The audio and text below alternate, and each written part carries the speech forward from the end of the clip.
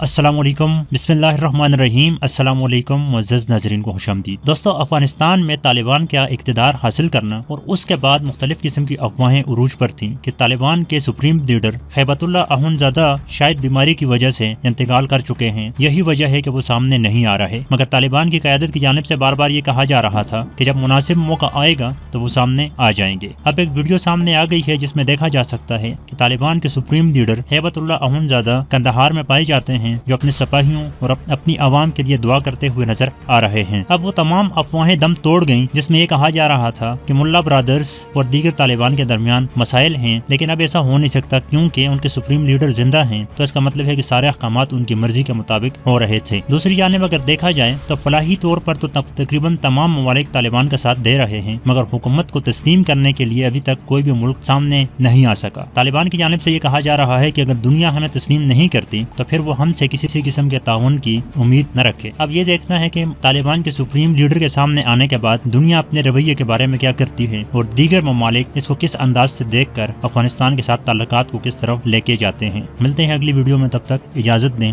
اللہ حافظ۔